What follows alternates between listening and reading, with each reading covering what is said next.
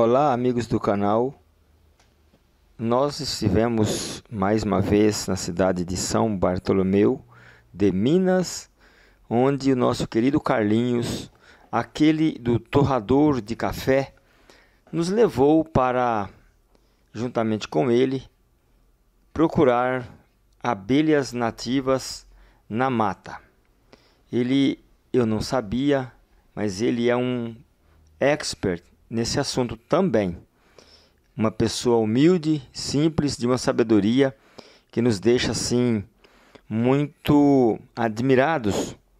E tivemos o privilégio de passar uma tarde com ele e assim ele mostrou para nós esse lado que nós não conhecíamos.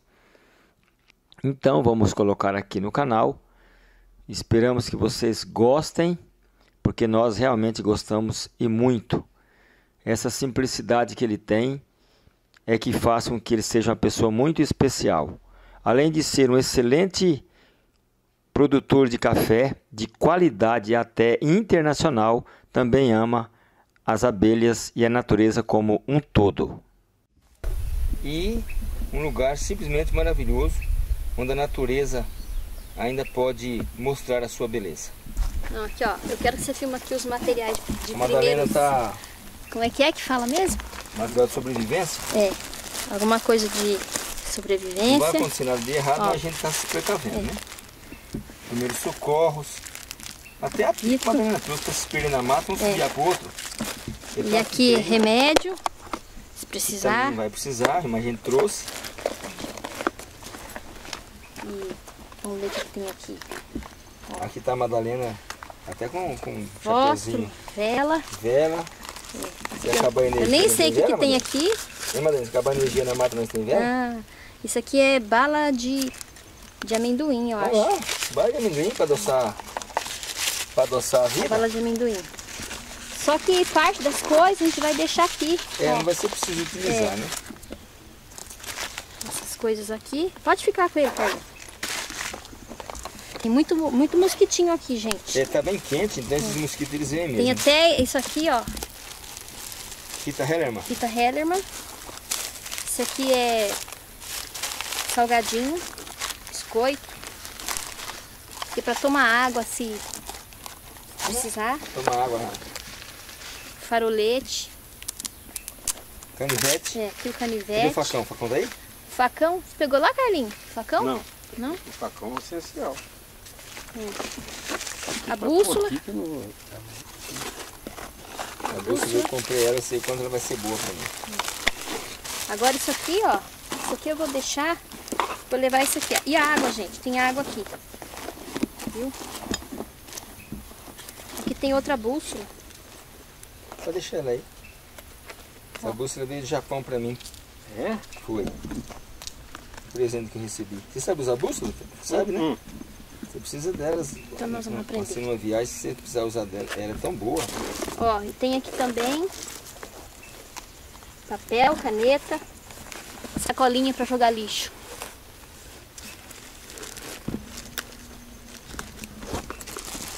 Só que essas coisas a gente vai deixar aqui no carro, não vamos usar agora.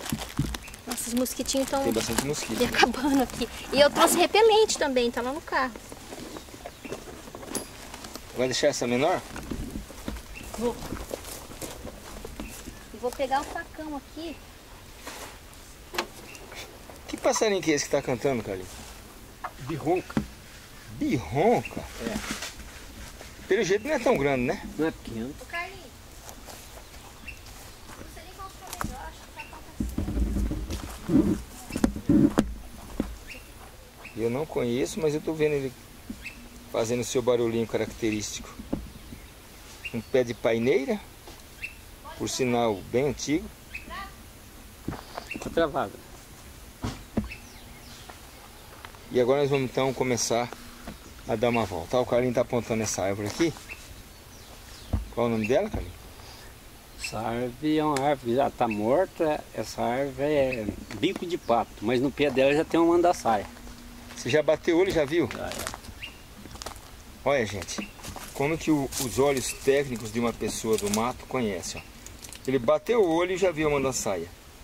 E eu ia passar batido e não era nada. Mas agora com o Carlinhos aqui agora, eu vou me tornar um, verdadeiro expert na mata. Quem né?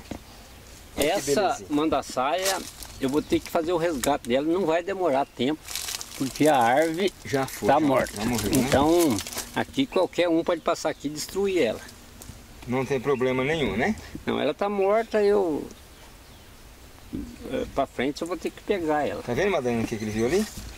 Eu já é, eu tô começando a conhecer, porque ela tem uns, negócios desenho. de terra. É, ela tem um desenho na porta que eu parece vi um... lá no, no outro É, lado. ela sabe. Que belezinha, né? Foto boa não? Ô, Carlinhos, eu tô observando que ali fica uma sempre de prontidão. Chega uma, ela dá um, um ré, ou uma ré, aí ela volta no mesmo lugar. É um guardião, então. É um guardião. Ali ela não deixa entrar os furídeos. Furídeos é uma pequena mosca que se ela entrar ali o enxame estiver fraco, ela faz postura no enxame e as larvas dele destroem o enxame todinho. Oh, Entendeu? Então ela não deixa o furídeo entrar e não deixa o outro tipo, uma formiga entrar. Não existe só uma guardiã, não, existe mais. É uma, uma sentinela. É, ela tem que vigiar, porque senão o furídeo vem e entra. E o furídeo é um- uma, uma mosquinha bem pequena. Nós não andamos nem 10 metros de onde nós estávamos. E esse especialista aqui, vou chamar você de especialista, já descobriu uma outra mandaçaia. Olha que coisa que esse rapaz é.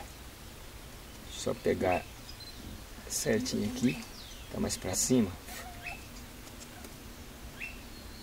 Olha lá. E estão trabalhando. Tem alguém lá na porta guardando. Que interessante. Ô Carlinhos, eu observei que você tem uma facilidade muito grande para esse tipo de animal, né?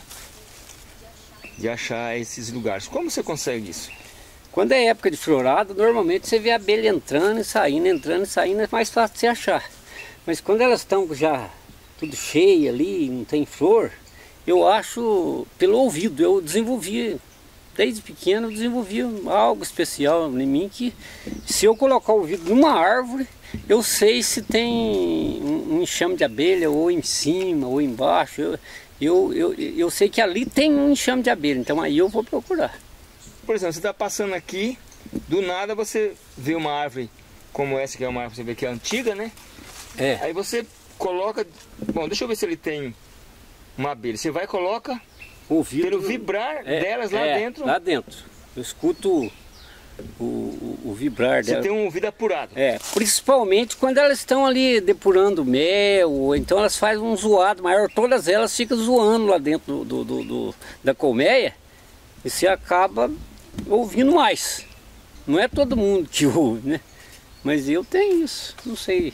Um dom? Vamos dizer que é um dom? É, pode-se dizer que sim. Muito interessante. Ranha-gato precisa de um bom facãozinho. É. E o ranha-gato, ele, ele é ranha-gato porque ele ranha até gato. E essa aqui, e essa aqui é a urtiga, ó. A urtiga, se ela pegar na pele da gente, ela queima.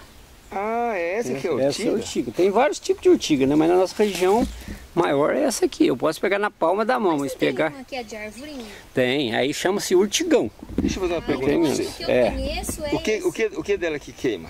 A folha aqui, ó. Passa aqui no meu braço então. Cícero. Não, Tá você aprendeu, aí. Já é o suficiente? Já, daqui a pouco, poucos segundos você vai... Se eu tiver. Já tá, tá reagindo. Tá reagindo. Tá parecendo que tão, que tem várias formigas me picando. É. Parece que tem várias formigas me picando. Por isso que a turma fala, se o camarada for no mato fazer o 2 e passa a ortiga. Madalena, por incrível que pareça, parece que tem bastante formiguinha me picando. E vai vermelhar aí, daqui a pouco já tá vermelhando. Que sensação, gente. Que sensação. Começou a envermelhar mesmo, realmente. Olha lá. Tá vendo bem? Eu não tô querendo fazer isso para me exibir não, gente. Eu tô querendo fazer isso para aprender. Eu nem sabia o que era urtiga. Já tá, aonde ele passou, Eu não conhecia essa qualidade. Conhecia de... Já é, tá parece um, vermelhando. um arbusto. Posso passar na minha roupa normal?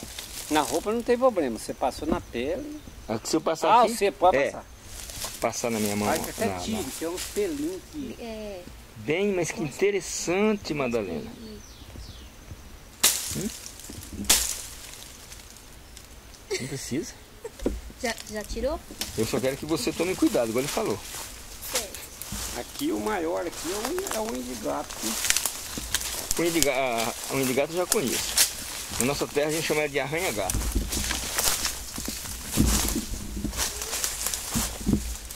Eu preciso conhecer então a urtiga. Para saber como que ela é.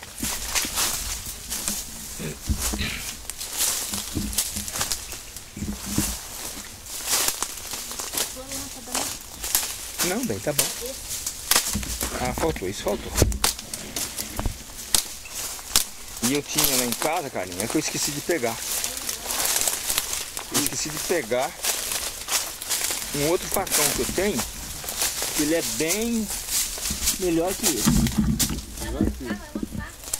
Mesmo que eu ia pôr. Eu tava lá cafeando e falei assim, eu tô faltando alguma coisa. E, ó, Uma venda enroscada ali. Não conseguiu desenroscar ainda não?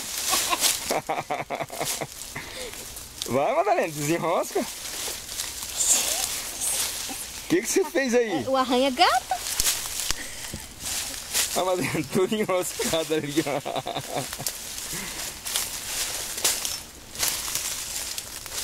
Ainda bem que conseguiu passar. Agora sou eu que vou enfrentar. O arranha-gato ele pega a gente. Tô até falando, né? Ele pega a gente e gruda mesmo e não solta. Ô bichinho danado.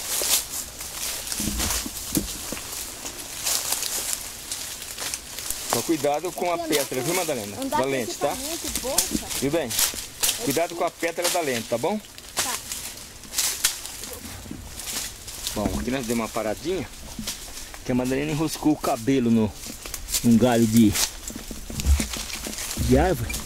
Eu tive que ajudar ela a des- desenroscar. E agora eu tô um pouquinho mais para trás. Mas é um lugar muito, muito, muito gostoso. É o que eu gosto, né? É o que a gente gosta. E tem que ir devagar, não tem como ser muito rápido aqui não. Procurar abelha aqui tem que ter paciência. Só fala baixinho, que nós achamos uma ápice aqui.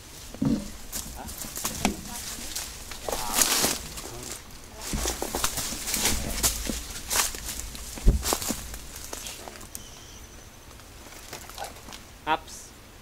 Onde tá ela? Ela ferrou? É africana. Ah, é africana. Que tem cuidado aqui, não tem perigo. não.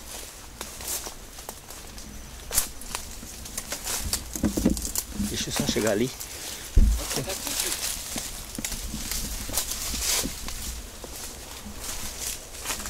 Cadê? Carlinhos, tá onde? Tá aqui. Aquele outro daquela árvore. Você quer que eu fale aqui? Ó, nessa árvore aqui nós temos uma, uma ápice.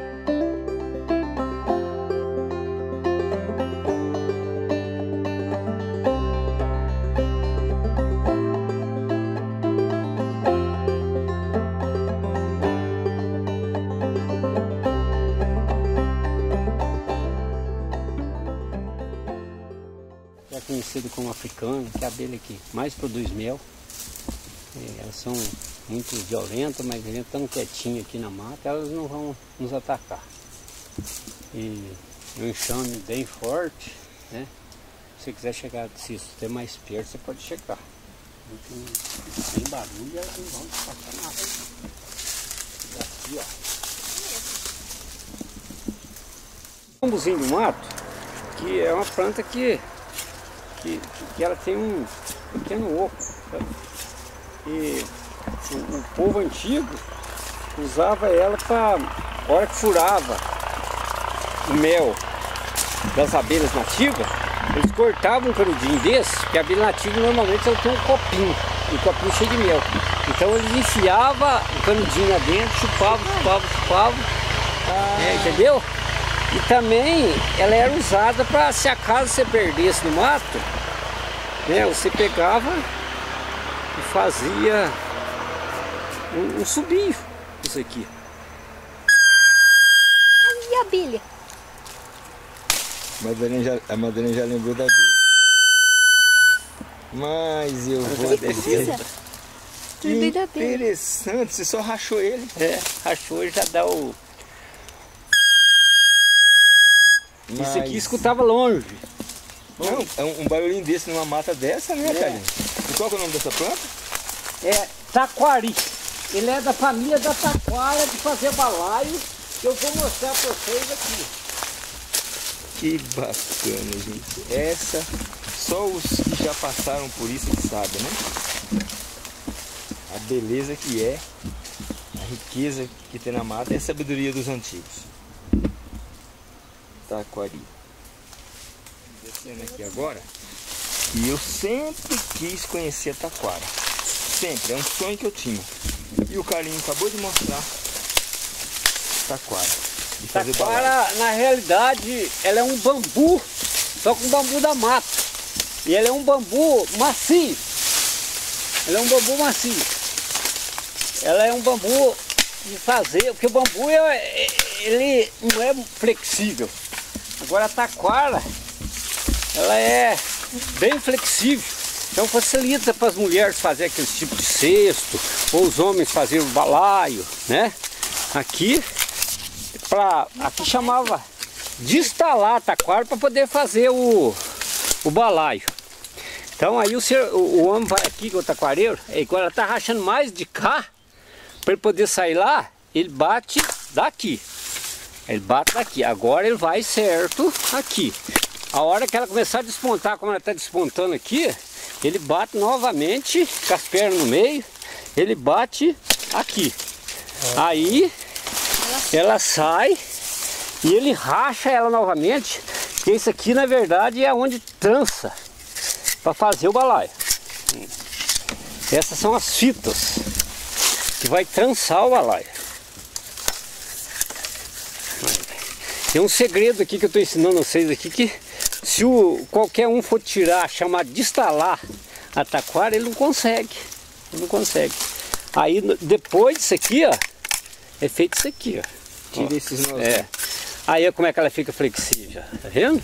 É para fazer cesta. Gente, Aí, ó. então Totalmente flexível. Consegui a taquara através do nosso amigo Carlinhos. Olha lá que beleza. É. E se ela for cortada na lua certa, entendeu? Ela Não caruncho. não caruncha. Que coisa. Descobrimos então a taquara, Madalena, que eu nunca imaginava que era assim. Eu já conhecia. E agora, para fazer conhecia, o, o esteio do balaio, Que é o fundo? que é o fundo que tem que ser forte, aí é claro que eu não tenho aqui, mas eu tenho o cabo do facão. Aí você põe em cima do pau e bate aqui, ó. ó. O balaio tem que ter o. Aí. Aí ele vai se tornar o esteio pra vocês. Para eles traçar.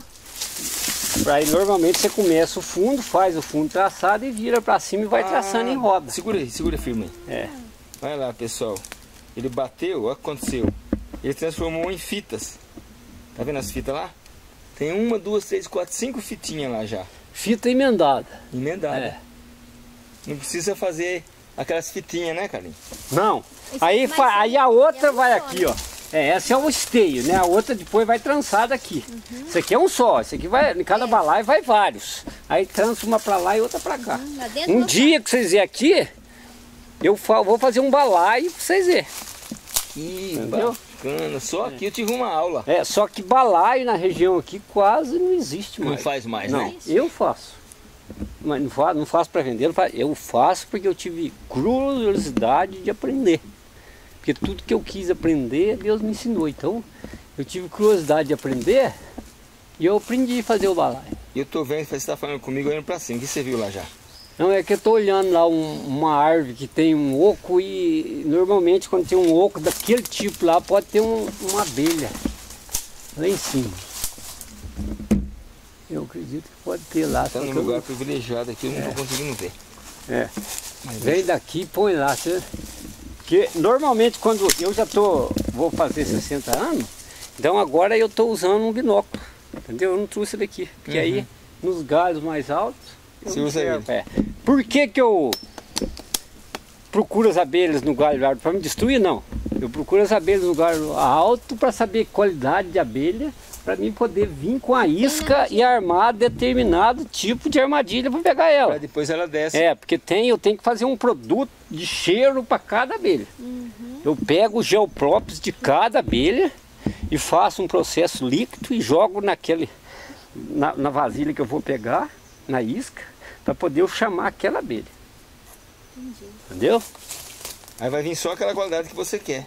Normalmente não, porque a jataí ela entra em qualquer cheiro. Ah, é? É. É a daí- exibidinha? É, é, a jataí tem demais, né? Uma abelha muito... Eu achei que fosse específico. Não, normalmente, para mandar saia tem que ser específico, tem outros tipos de abelha que tem que ser específico.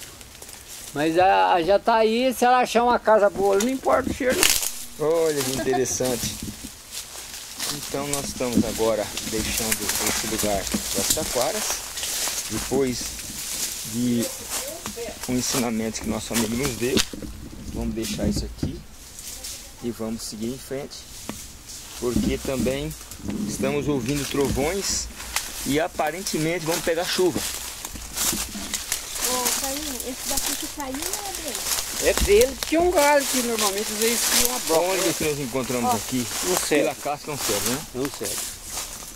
Gente, que É beleza. uma das madeiras mais bonitas que tem. Mais nobre também, né? Ela é, nossa, ela é macia e bonita, né? Então é, é uma, uma árvore muito usada para móveis. Né? E é, qual que é a diferença do cedro e o cedrinho?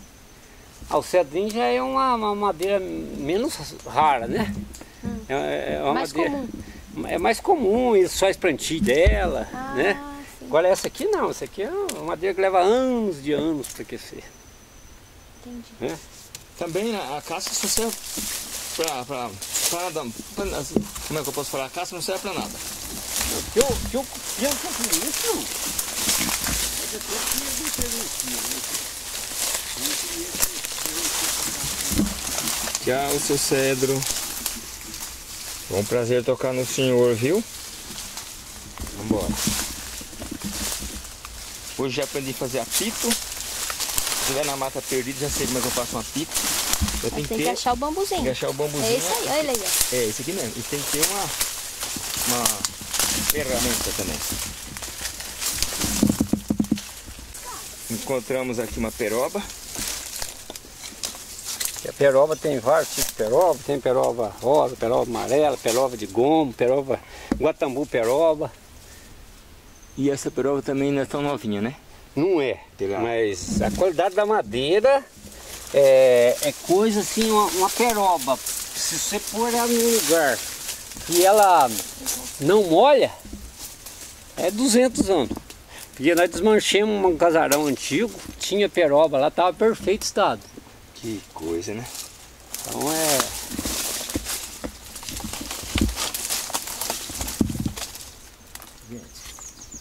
Pessoal, olha a visão que esse nosso amigo aqui tem.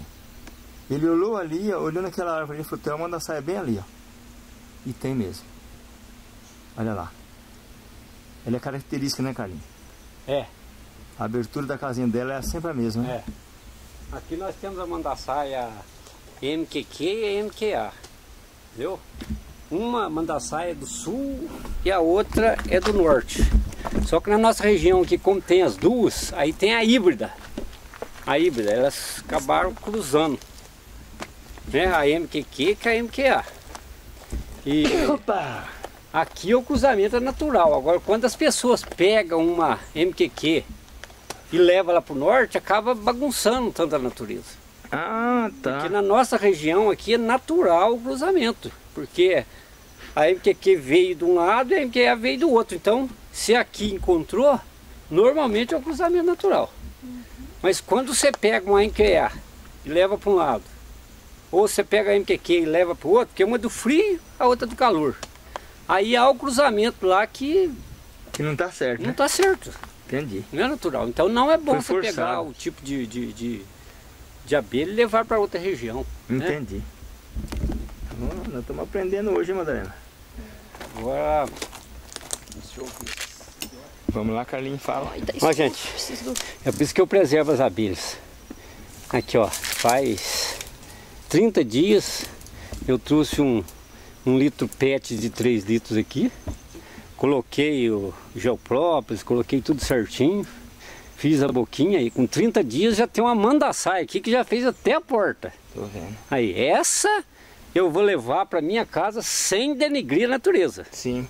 Eu vou pôr numa caixinha para lá elas enxamear e povoar novamente a, a, a natureza. Porque se eu não pego ela aqui, talvez ela vai para um lugar que não é bom. Ela vai para um, pra um oco de um pau que nós temos aqui a graia, que destrói muita mandaçaia. Nós temos o passarinho que chama alma de gato, que come as mandaçaias. Então, na de minha gato, casa... Alma de gato come. Come. Eu tava fica na uma- porta, porque a mandaçaia, a mandaçaia é doce, entendeu? Hum. A mandaçaia ela carrega néctar, ela carrega pólen. Então a, a arma de gato fica na porta, da- da- esperando a hora que, que entra. Ela pega sempre as que entram, porque normalmente as que entram é as que estão cheias de néctar. É mesmo, ela vem vindo É. já da, da, da luta Agora, diária. é, a gralha, a gralha já destrói o oco com bico. Se for uma árvore que está bem danificada, elas destroem o chame todinho. Não estou dizendo que Eu tem tava- que matar a alma de gato Não, não, sim, né? lógico, eu entendo. A natureza é natureza. a né? natureza é Eu natureza. estava vindo com a Madalena É. de viagem e passou um pássaro voando. Eu disse, Madalena, lá uma alma de gato. Ela falou, mas por que chama al- alma de gato? Eu disse, eu aprendi quando era criança que ela mia igual um gato. Só isso que eu posso te responder. É, ela tem um, E ela tem um, um rabo um longo, rabozão. geralmente na cor marrom, É. e voa de um jeito especial. Tem o é, voo que é só de- dela. É. De Só rasante É, e é. sobe. Isso, e é. sobe. Mas então isso que você vai levar hoje? Não, eu tenho que deixar 40 dias. Ah, tem mais É, esse segredo Porque mesmo. a rainha tem que começar a botar para me levar. Sim, então ali Porque foi é formada uma nova Nova colônia. come- uma nova colônia que ainda não tinha fava, ainda não tinha mel e Não- ainda e não não, tinha tinha, rainha. rainha. Não tinha A rainha. rainha veio para cá normalmente virgem. Entendi. entendeu? Veio, normalmente vem uma princesa para cá e ela... E olha só, Você quer filmar de pertinho? Isso beleza? é. Olha, olha a porta. Mas ela aqui corrige. Quando eu, quando eu levar bem lá na frente, ela corrige. Porque eu não tô conseguindo. Conseguiu, não conseguiu? Vamos continuando então. Madalena falou assim, da próxima vez eu trazer uma camisa de manga comprida. Na verdade ela trouxe, até trouxe, ó. Mas esqueceu. Bom, é a primeira vez que a gente vem, não vamos ficar só nessa.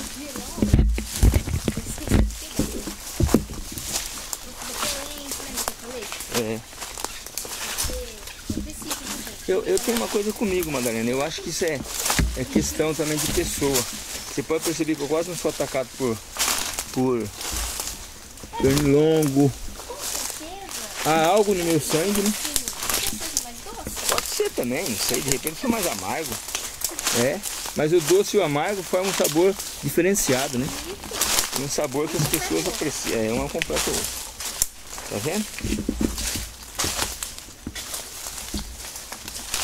Porque ser mais doce também não, não é presta. Não também não é bom. Eu gosto amargo. Perdi onde é que eu tinha Mas acho. posto outro.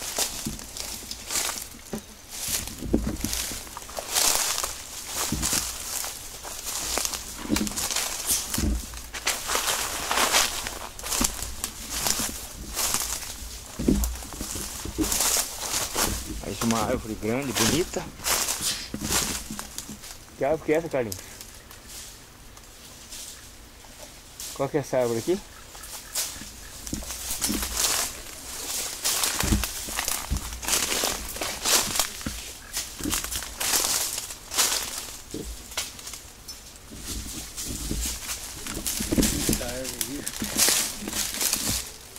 Não, não tá não. Conhecido por casca de arroz na minha região. Nem sei se em outra região ela Que interessante. é, é, tem um, um avermelhado.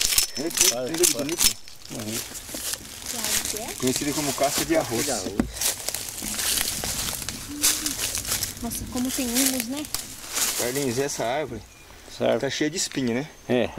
Como é que é chamada aqui? Chamar de mama cadela, mamica de porca, maminha de porca. Ela é usada para normalmente a casca é usada para vitiligo, fazer pomada, outros até tomam, né? Ah, é? É. Só que para tomar tem que ter um determinado tipo de cuidado. Não vai, não vai tomando de qualquer jeito, né? Carlinhos, Oi. essa daí é outra, né? Aí, na sua frente aí. Aqui, ó. É, pô, você quase pegou nela, você quase pegou nela. Quase você pegou nela, você quase pegou nela. Ih. Não, não, você quase pegou nela. Aí. Não, ah, outra mama cadela, fala? essa aí não que eu tô mostrando. Não, essa aqui é outra árvore. Qual você tá mostrando? Peraí. Perguntando se é outra mel. Aqui, ó. É mesmo. Ah, se essa aqui é outra mama cadela? É? Não, essa aqui é... é, é não é. Parece que é igual, Carlinhos. Então acho que eu acho que Na natureza tem muita coisa que é, é, que é parecida, é né? parecido. Só que então eu posso ter falado até errado daquela ali, porque eu não vi a folha dela. Às vezes é da mesma família. Aqui eu pus Vai. uma outra, isso aí, porque pra pegar, manda a saia também, eu disse que não pegou, não pegou também.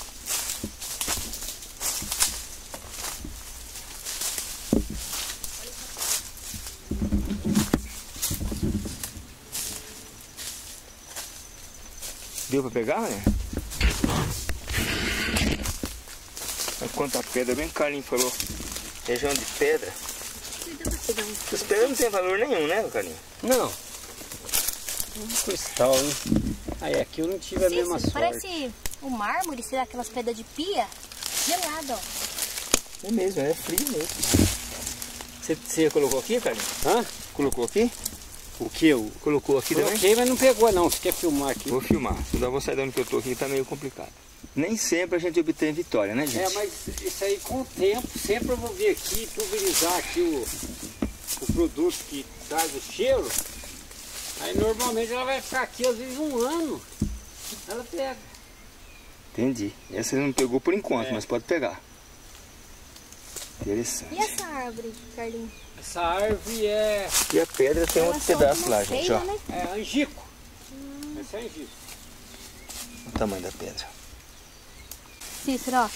Ela faz um degrau ali embaixo e a tem uma ponta dela lá embaixo.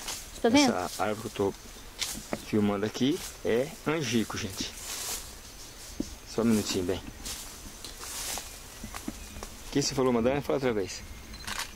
Que aquela pedra que eu te mostrei, Hum, ali, que você filmou, ela tem um degrau ali embaixo. tô vendo o degrau. Com certeza ela Vai mais pra baixo. mais né? abaixo que tem um, um degrau, uma ponta Ah, dela lá embaixo, embaixo. no cafezal. Bom, gente, ali nós temos mais uma que o Carlinhos achou. É uma mirim. Eu acho que é, é não tenho acha, certeza, não tô tá meio escuro aqui pra mim. Focar melhor, que É. tá meio complicado aqui. Consegui. É, mas não dá pra você, é capaz de você não alcançar lá não. Olha lá, isso. Isso. Olha lá. Bom. Mas deu pra. Às vezes vocês puxar lá em casa, bem perto, tem jeito, né? Já há um bom tempo nós estamos andando aqui. Logicamente eu não estou gravando tudo porque senão demanda muito espaço. Mas o rapaz rodou, rodou, rodou e nos trouxe no lugar onde nós teríamos que sair, onde ficou o carro. Mas ele conhece bem e isso é muito bom. Vamos lá, bem, pode passar. Toma cuidado na hora de subir ali. O tempo fechou para chuva e está ventando bem, por sinal.